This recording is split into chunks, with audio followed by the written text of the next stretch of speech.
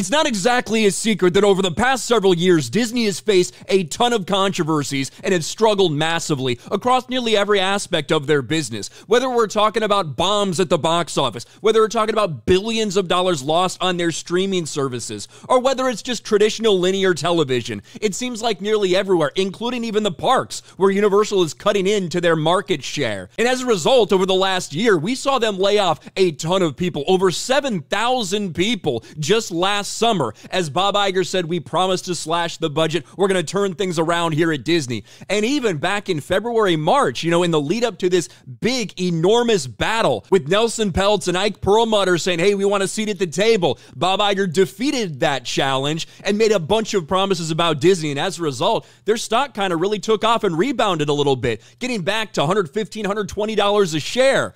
Well, that didn't last very long, did it? Because as you can see, this is over the past six months. You know, it peaked around $120 per share at late March, early April after fending off that and making all these promises.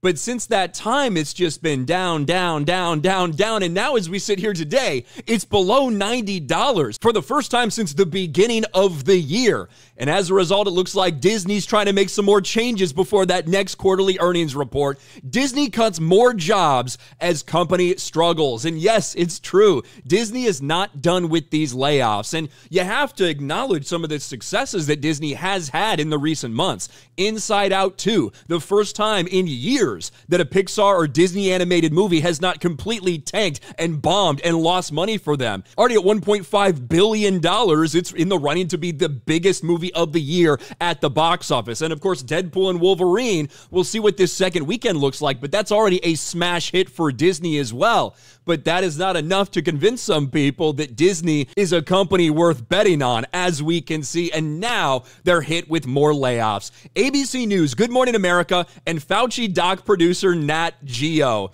The bloodshed of the Disney company isn't over yet, with CEO Bob Iger wielding the axe across multiple TV properties. And that's one thing that often gets lost in this streaming battle that we saw, the streaming wars over the past few years are when you do things like that, they really end up gutting their traditional linear television. They're really struggling in television right now. People are cutting the cord. People aren't watching linear television anymore. They're struggling to find advertisers. All these things. That's another area where Disney has seen significant problems. Now, they're not alone in that. A lot of people that are invested in linear television in the same situation, but when it does come to Disney, it seems like they're maybe trying to do something before this next quarter's earnings are actually out. Especially because we've seen that stock as so many people, you know, listen to Bob Iger once again make promises. This is how this works, or seemingly how this works. If we look over, let's say, the past five years at Disney, you can see in 2023 when there was a lot of pressure from Nelson Peltz on someone like Bob Iger, they made a bunch of promises, made a bunch of budget cuts, told people they'd have things turned around,